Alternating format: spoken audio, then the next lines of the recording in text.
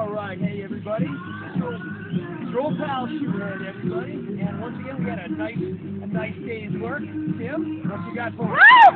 Yes. See? So, what I like to do is like to say thank you to folks at Bravo Mike, all our awesome sponsors. And we had another another great day in the park here. Another great event, um, Spring Fest 2011. Now it's beer time. Don't think it ain't.